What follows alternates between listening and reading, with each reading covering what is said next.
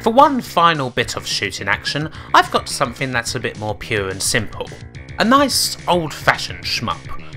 1988's Silkworm was one of my absolute favourites of the good old early computer days, a fast loader with simple no-frills action and a neat little two-player twist. Of course there's been games in the Kimblitz from those days that I've revisited now and found haven't held up all that well, but thankfully Silkworm isn't one of them. Generally speaking, most versions of this game are good, but I think that the Amiga version shows the game off at its best. The gimmick of Silkworm is that it's a horizontal shooter with action both in the air and on the ground. Ideally it's played with two people, one controlling the helicopter and the other the jeep. However, as reviewing old games on the internet is usually a thankless and lonely task, we can only see the helicopter here.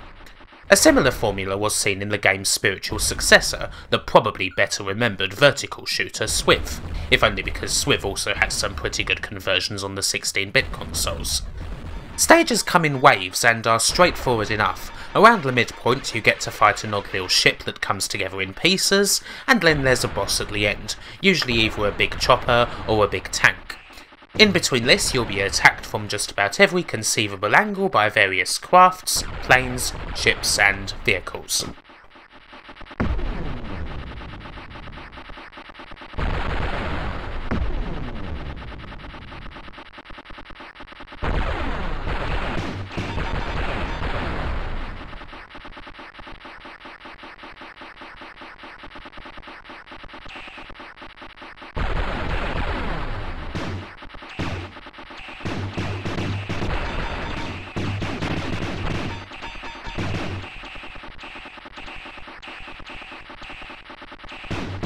The play is very straightforward and very arcadey. All the regular trappings of an old school shmup are here. Indeed, the main thing about this one is that it's quite interesting to compare this to the other shmups we've seen in the Blitz, namely Banshee and Mushihime Sama. If you showed someone all three games and asked them what they thought the hardest one was, they would undoubtedly say Mushihime Sama without question, but while that may be true of the Ultra mode, it's not really the case for regular play, Banshee is undoubtedly the hardest by a mile, but Silkworm is tough too, especially in the later waves. The hitboxes are a good example. While the Bullet Hell game has about a pixel's worth of hitbox, Silkworm has an entire ship's worth, a large ship too, bulkier than what you would see in most modern day shmups. Then there's the direction enemies take. In something like Mushihime Sama, enemies and shots are almost always in front of you, allowing you to hand in the back as much as possible. In something like Silkworm or Banshee, you're attacked from all directions. If you hand back all the time, you'll end up dying as a wave of helicopters crashes into you from the rear, nor will you be able to effectively evade attacks from the ground, or things like homing missiles that you just don't see in shmups anymore.